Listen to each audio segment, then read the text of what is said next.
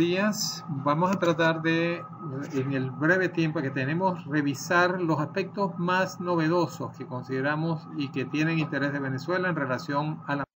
enfermedades más importantes. No voy a revisar el ciclo, pero quiero destacar de esta primera diapositiva que estábamos acostumbrados a cuatro especies, Plasmodium viva, Falciparum, Malaria Vale, pero han habido cambios importantes con la llegada de y la adaptación de la malaria de monos, como son las otras cuatro especies, Plasmodium knowlesi, Plasmodium simium, Plasmodium cynomolgi y Plasmodium.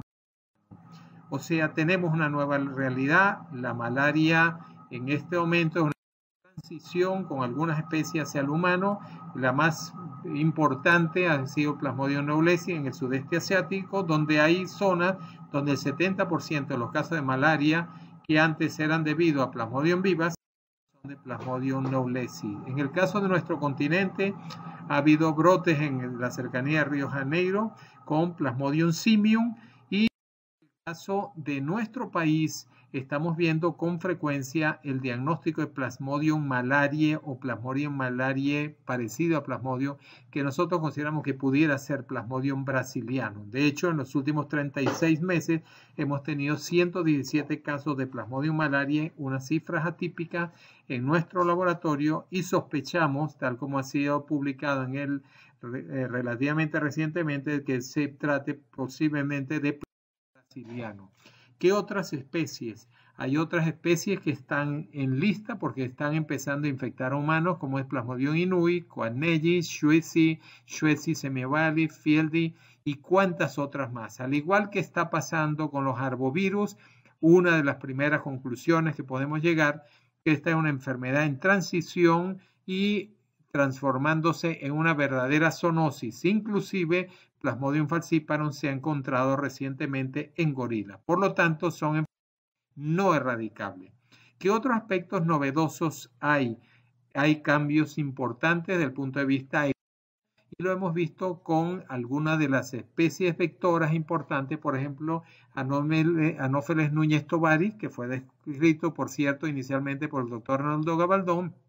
que era propio de la cordillera andina, hoy en día lo encontramos ya invadiendo todo el área al sur del Orinoco, concretamente en el foco más activo en el estado Bolívar. Estos cambios este, tienen que ver también con los cambios climáticos. El mapa de Venezuela originalmente, todo el área amarilla correspondía al área malárica, que era por debajo de los 800 metros. Por arriba de los 800 metros, que eran las cordilleras que tenía el pero ya ha habido brotes relativamente recientes y muy importantes en el área de en el área andina con transmisión con mosquitos del género Kertesia, como es el caso del foco en el estado Trujillo a 2200. Y esto tiene que ver con los cambios también ocurriendo. Hay un incremento notable de la temperatura, de hecho en, el en julio del 2019 se registraron las temperaturas más altas de la historia que se lleva, por lo tanto estamos ante un, un planeta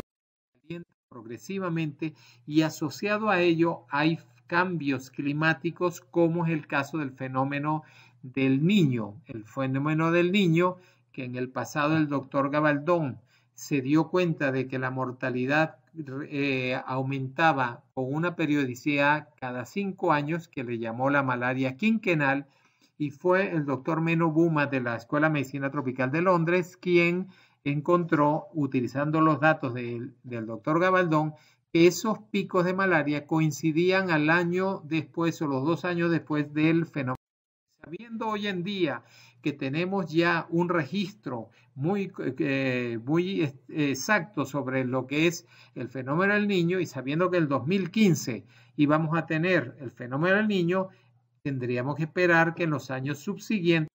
incrementar la malaria. Y eso realmente ocurrió. Entonces, estos son muy importantes y que han venido acentuando la transmisión de la malaria. Si a eso le asociamos a los cambios climáticos, decisiones políticas, como en nuestro caso, que agravaron la situación sanitaria del país, fue lo que es la política creada a través del programa del arco minero. Eso conllevó al abandono de algunas eh, concesiones mineras, como esta brisa del Cuyuní, que era una mina de Minerven que se eh, trabajaba eh, técnicamente y se abandonó para permitir que entrara la minería artesanal, una minería degradante del medio ambiente y que crea las condiciones eh, ideales para la transmisión de la malaria. Entonces, el hecho que hubiera una, una em, empresas mineras legales con, con concesiones teníamos ahí una malaria estable con mano de obra local que tenían cultura malárica, donde habitaban en unas residencias aptas que prevenía la, la infección a una minería artesanal en esas zonas que han sido invadidas donde vemos grandes barriadas. Y eso transformó en una malaria inestable, gente de todo el país no inmune, de ambos sexos. Vamos a ver ahora esta población infantil en esta zona y se asoció también a todo un comercio alrededor de ella que facilitan la transmisión, inclusive lo que es las redes de prostitución, las llamadas en esa área. Entonces, esta, estos cambios asociados también un poco promovidos por la crisis económica nacional llevó a migraciones importantes hacia la zona minera y la zona minera se transformó en el estado Bolívar en el epicentro de la transmisión malaria. Y a partir de ahí, la gente que venía de distintas áreas geográficas retornó a sus localidades, de allí que se ha ya sembrado la malaria en todo el país, ya que nosotros tenemos anofelinos en todo el país. Esto es una realidad que se ha acentuado en los últimos años y esta es la curva de transmisión de la malaria, donde hemos llegado hacia, en los últimos años, sobrepasando los 400.000 casos de malaria con lo cual coincide con la curva de casos que nosotros hemos reportado en el laboratorio de malaria. Fíjense que coincide, es una réplica en todo el país. Ahora, lamentablemente, esa acentuación de la transmisión no se acompañó de una inversión adecuada a la gravedad de la situación. Y cuando vemos los datos de la que da la Organización Mundial de la Salud y la OPS, resulta que el ministerio puso que invirtió fuera de los salarios, por supuesto, porque el personal sigue ahí, este, aparece eh, por lo menos en ese reporte mundial que la inversión fue cero dólares. Pues por supuesto, a esos patrones migratorios acentuados por, por esa crisis económica, pues hubo un aumento sustancial. Entonces, en el año 2018, que fue el año pico de los últimos años, que se estimó que hubo unos 401 mil casos de malaria, este, la gran mayoría causado por plasmodium vivas, resulta que cuando nosotros hacemos las estimaciones, incluimos los casos asintomáticos, ya que en los estudios que hemos hecho en el Centro para Estudios sobre Malaria, hemos encontrado en las áreas como en el estado Sucre hay cuatro casos asintomáticos por cada asintomático, mientras que en las zonas mineras, en las zonas mineras hay seis asintomáticos por cada asintomático. Eso nos lleva a unos números que rondan alrededor de 2 millones de personas o casos infectados. O sea, una misma persona pudo haberse infectado dos, tres y cuatro veces, sobre todo por el patrón de recaídas tan grave que se ve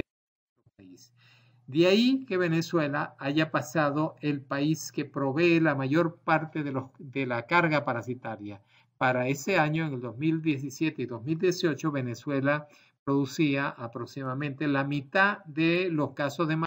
de todo el continente y por lo tanto con la migración de venezolanos fuera del país se acentuó la exportación de casos de malaria como se ha visto en, eh, los estados cercanos a Venezuela en la frontera tanto del lado brasileño como del colombiano.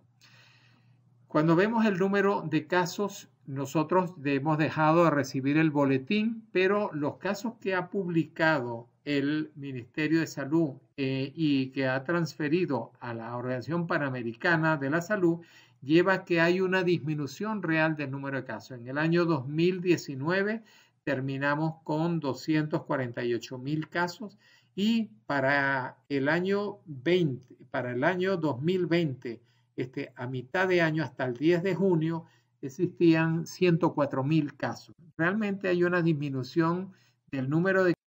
donde está determinado, y lo vemos en esta gráfica con la raya de color magenta,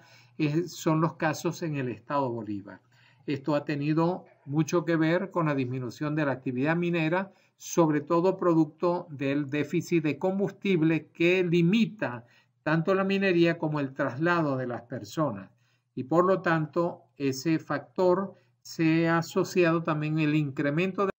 algunas organizaciones no gubernamentales, como es el caso de Médicos Sin Fronteras, es el caso de la Cruz Roja Internacional, Rotary Club, que están haciendo importantes aportes. Es, eso mismo es lo que estamos nosotros observando en el, en el Centro para Estudios sobre Malaria, donde ustedes ven que en el 2018 nosotros tuvimos un total de 3.391 casos eh, positivos de 5.815 pacientes que recibimos, pero para el año 2019 terminamos con 819 casos de casi 2.000 examinados. Quiero aprovechar para llamar la atención, fíjense, algo novedoso. Nosotros no veíamos, veíamos la malaria doble, Plasmodium falciparum y vivas, como lo pueden ustedes observar, en el año 2018 tuvimos 165 casos de malaria doble por falciparum y vivas en el, una malaria mixta, en el con Plasmodium falciparum y malaria, siete casos. En el año, en ese mismo año, vivas y malaria, 45 casos y malaria triple, 15 casos de, de Plasmodium falciparum, malaria, eh, Plasmodium malaria y Plasmodium vivas. Eso también son cosas nuevas, lo que están indicando la alta carga parasitaria posiblemente que también que existe en los vectores. Estos están concentrados la gran mayoría en el estado Bolívar, aunque hemos tenido un foco con, con algunos casos de malaria eh, triple, mixta, triple, en el área de Caja Seca en la costa occidental oriental de Maracaibo. Esto está asociado también a, fíjense, en el 2003-2004, el número de infecciones simples este, era del 98%. Pero vamos ahora al año 2018, 61% ya bajó, o sea que casi el 40% eran infecciones con múltiples clones, o sea que la carga parasitaria era muy alto, tanto para falciparum como Plasmodium eh, vivas, que vemos que para el año 68, para el año 2013 eran 16% eh, y en el año 2018 pasó a ser el 68%. ¿Eso qué es lo que está eh, ayudando a explicar por qué con Plasmodium vivas, al tener tantos clones infectando a cada caso, está llevando a que haya la fiebre diaria intermitente como, era habitual. Otros factores epidemiológicos importantes es la presencia de la malaria urbana en Venezuela a los focos fronterizos y hoy en día tenemos una gran cantidad de ciudades donde hemos tenido, se ha demostrado transmisión, sobre todo en el oriente y sur eh, y la región meridional del país, donde hay importantes ciudades como Ciudad Bolívar, Puerto Ordaz, San Félix, este, que tienen transmisión, Santa Elena y Guairén, Cumaná, eh, eh, Cumaná eh, Puerto La Cruz, etcétera, etcétera. Y algunas zonas, poblaciones del estado Miranda. También es un fenómeno. ¿Qué otras cosas se asoció ese aumento de la transmisión? Bueno, también con la, el incremento de la malaria por, por Plasmodium falciparum, la se elevó la morbilidad, la severidad clínica y aquí vemos este, tres casos de malaria cerebral, dos que afortunadamente se salvaron que se recuperaron en ya una fase convulsiva y esta criatura, este bebé, que falleció en el hospital clínico, que tenía escasamente este, un mes de, nacido, con una malaria cerebral. ¿Qué cosas nuevas estamos viendo en malaria? En malaria se están viendo inclusive algunas manifestaciones que nos hacen recordar COVID. Justamente en momentos que tenemos la gran pandemia por COVID, se están viendo fenómenos trombóticos tempranamente este que lleva a lesiones oculares y lesiones cerebrales. Eso hay hoy en día tecnologías que permiten ver esos coágulos que se están formando en, en esas zonas, particularmente en ojo en pulmones y en riñón, este, y que lleva a la isquemia tisular. Otro, esa, eso también está asociado a fenómenos del incremento de la permeabilidad vascular que lleva entonces al edema cerebral, a la herniación a nivel del encéfalo y del, y del, y del cerebelo que lleva, por supuesto, a la muerte. Esos fenómenos tienen que ver con las alteraciones de los endotelios, este, condicionado también por el, la avalancha de citoquinas que al igual que en, la, en el COVID estamos observando con esta patología. Bueno, Siguiendo entonces, ¿qué otras novedades diagnósticas hay? Bueno, hay ya herramientas, se están eh, estableciendo programas que permiten eh, desarrollar software que adaptan equipos este, al microscopio y que tienen la capacidad de identificar este, casos de malaria. Algo que se está haciendo también en el, área de la patología y aquí tienen una, un sistema que permite, eh, permite diagnosticar en un extendido de sangre los casos de malaria, de alguna forma sustituyendo la labor, la importantísima eh, labor de los Hay otras tecnologías, en este momento hay tecnologías este, asociadas a olores, este, inclusive se están utilizando hasta perros entrenados y traigo este modelo, es el modelo de que captura, es un sistema que captura a una, eh, a una molécula que se llama el terpene que expulsan del paciente que está infectado con, con malaria y por ciento es uno de, los eh, de las moléculas que atraen a los anofelinos este, y que puede ser capturado en un momento dado en un globo y ese globito conteniendo el vapor y el, el, el, eh, este, las respiraciones, en este caso de este niño, puede ser evaluada en cualquier sitio detectando la presencia bueno, y finalmente quiero tocar un tema muy álgido que es el tema de las vacunas, al igual que lo estamos con COVID. Y recordar que fue el doctor David Cray el primero que hizo los ensayos utilizando mosquitos irradiados, donde él se dejaba picar por esos mosquitos irradiados, donde los esporozoitos que lo los que eran inoculados por esos anofelinos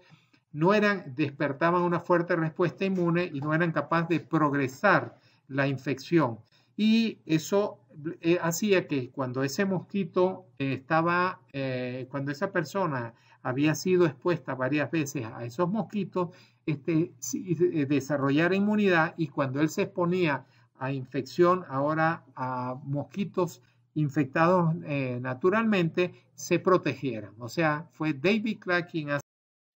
en humano. Pero es Manuel Elkin Patarroyo en el Instituto de Inmunología de Bogotá quien desarrolla la primera vacuna y esa y utilizó una herramienta que es los péptidos sintéticos, eh, péptidos que él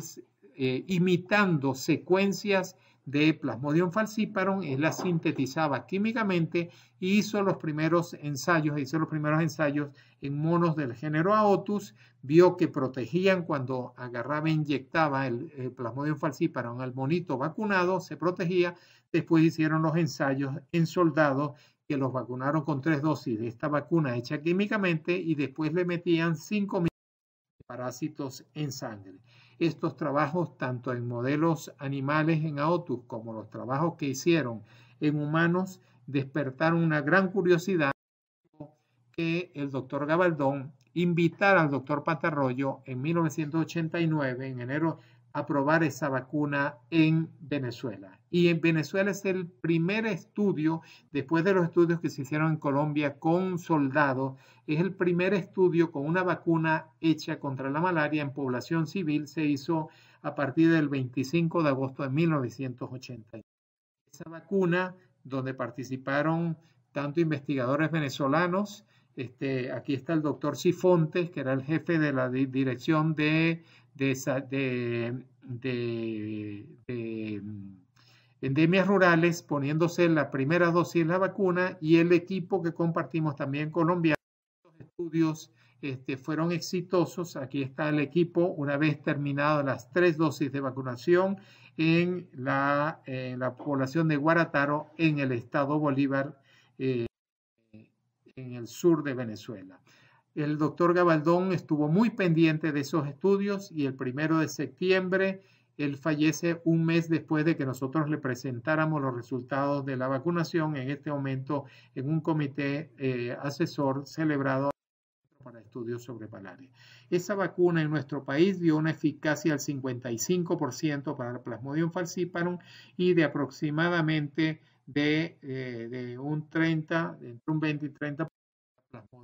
Eh, vivas. Ahora bien, hay una nueva vacuna, que es una vacuna recombinante, que es la vacuna RTCS, que utilizan eh, un ayudante, que es una saponina, y esa vacuna ha dado eficacias muy bajas. Es una vacuna recombinante, ha sido publicado en Lancet. Fíjense que da un al, al 30%. Aquí tienen otro estudio que ellos hicieron también en el 2005. Todos los estudios que han hecho con esa vacuna de tres este, las eficacias son menores a 30%. Pues bien,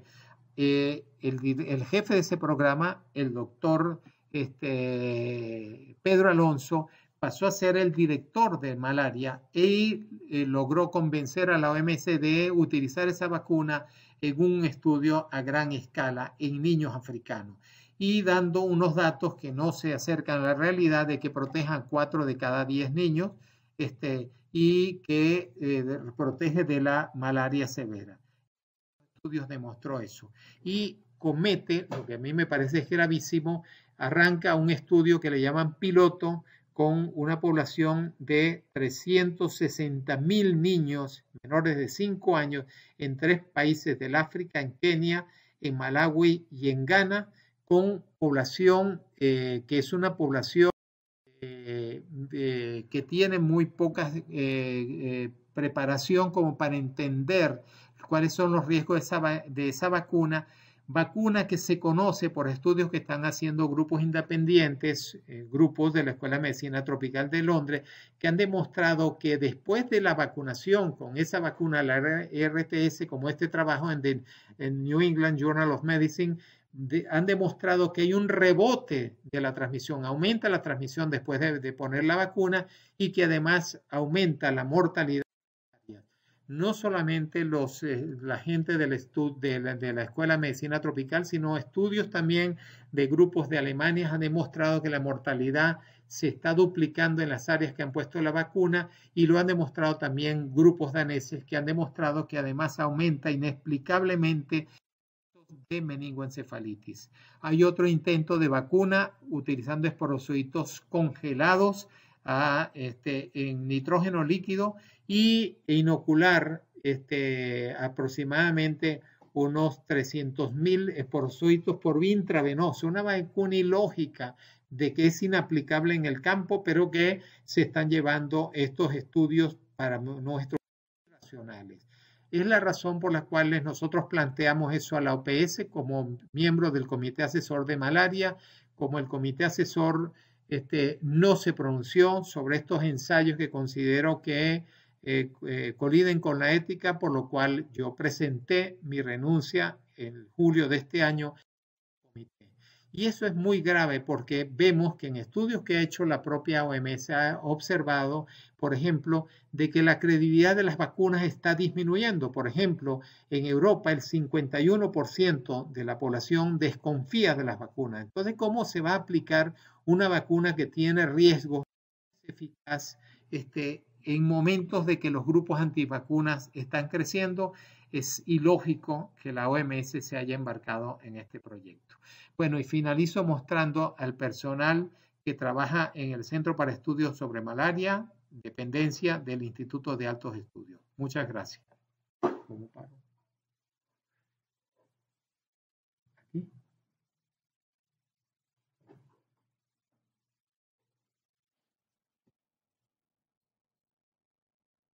Sigan acompañándonos en nuestras 27 jornadas científicas, doctor Arnoldo Gabaldón.